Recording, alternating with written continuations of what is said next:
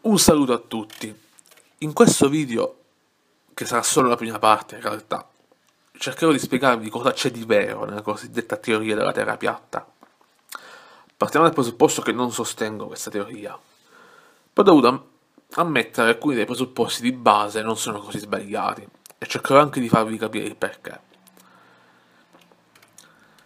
Io sono rimasto infatti sorpreso da certi presupposti da cui partono non dalle, cose, dalle tesi a cui, che, che sostengono, non, non, dalle conclusioni diciamo, a cui pervengono, ma dai, dai loro presupposti. Ad esempio, primo punto, etichettare effettivamente una teoria come complottista, benché lo sia per davvero, non equivale a dimostrare che essa sia sbagliata. Sarebbe un'argomentazione ad hominem. Io ho già fatto dei video su, sulle argomentazioni ad hominem vi conviene andare a vedere, altrimenti cercare direttamente su Google. Il scetticismo metodico, secondo punto, e il dubbio metodico cartesiano sono due ottimi punti di partenza. Bisogna sempre dubitare, non fidarsi mai di nessuno. Ogni, ogni cosa potrebbe essere falsa, come in Matrix, o anche peggio. Il problema però è come poi orientarsi per indagare sulla realtà e rispondere alle domande, cosa in cui secondo me Cartesio, esempio, ha fallito. Ma questa è un'altra storia. C'è sua parte distruttiva, che, che in realtà è più facile.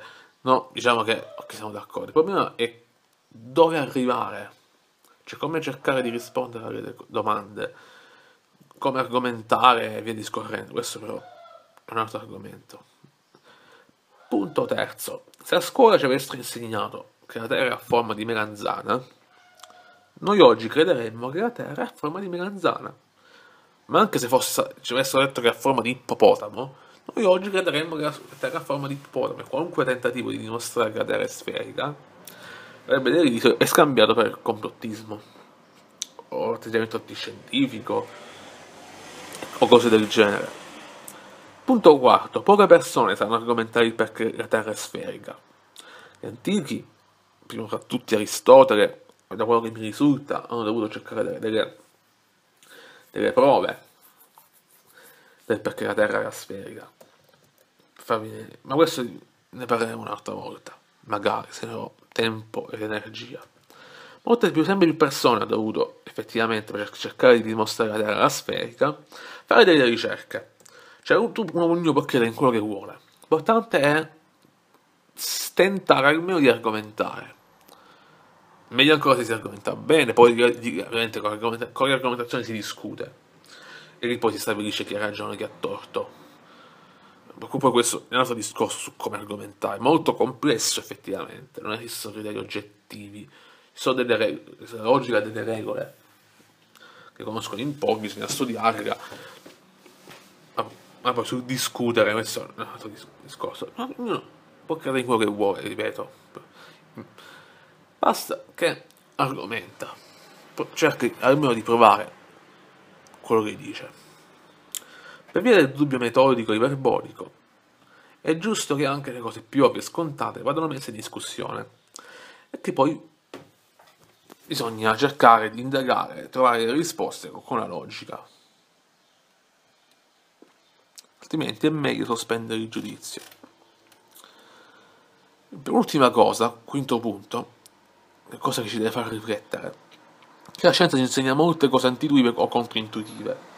Prima cosa che si, che si pensa, quando si parla di scienza, infatti, di queste cose, prima cosa dice, dai, la Terra sembra piatta, ma non lo è. La scienza dice il contrario.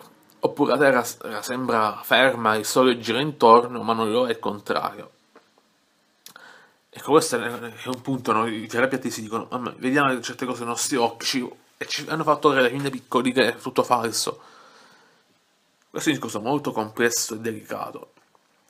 La scienza dice molte cose che sono contrarie al senso comune, contrarie proprio a come le vediamo.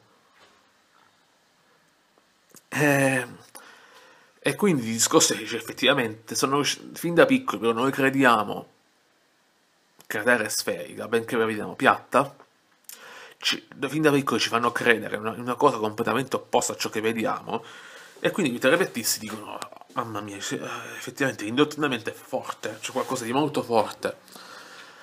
Perché siamo disposti a credere anche in cose tipo la fisica quantistica, che è molto, molto antintuitiva, la fisica della relatività, tante, tante altre cose molto complesse, no? Quindi fare anni di studio. Effettivamente è una cosa deve far riflettere questa cosa. Ci posso veramente far, far credere tutto il contrario di tutto. Questo ovviamente parlando di scienza. Se è vero o falso ci, si, si, studia si ne può discutere tranquillamente. Però effettivamente quando si parla di indottrinamento, cioè fin da piccoli cioè, avrebbero anche potuto, come dicevo all'inizio, far credere che la Terra ha forma di ippopotamo, o forma di pene gigante. Noi ci avremmo creduto. E quindi, e quindi poi, poi il discorso che effettivamente la scienza dice cose controintuitive per, ragione, per, semplice, per la semplice ragione, scusate, che noi effettivamente abbiamo una mente limitata, ciò di cui noi vediamo, crediamo, eh, può essere falso, ma il discorso è proprio questo, è, no? Si parla di indottrinamento, si parla di... di cioè, quando conviene ai terapiattisti, ciò, ciò in cui noi crediamo è falso perché deriva da, da un inganno, ma quando conviene loro ciò che vediamo è vero. E quindi questo è proprio il problema. La scienza ci dimostra, proprio per via del fatto che dice cose controintuitive, molto lontane dal modo comune di pensare delle persone Proprio perché effettivamente noi del nostro modo di pensare non ci possiamo fidare, dei nostri sensi non ci possiamo fidare. La Terra è sferica benché sembra piatta. Il Sole gira, no, no, non gira intorno alla Terra, ma sembra che gira intorno alla Terra. E tante altre cose. Quindi il discorso boh, un po' incoerente da parte loro, però effettivamente sul fatto che ci possono far credere tutto il contrario di tutto, io sono d'accordo con loro su questa cosa. Però per il resto poi ne possiamo tranquillamente discutere. Beh, quindi io continuerò nella seconda parte a parlare della terra piatta. Se vi è piaciuto, spero che guardiate anche altro. Alla prossima.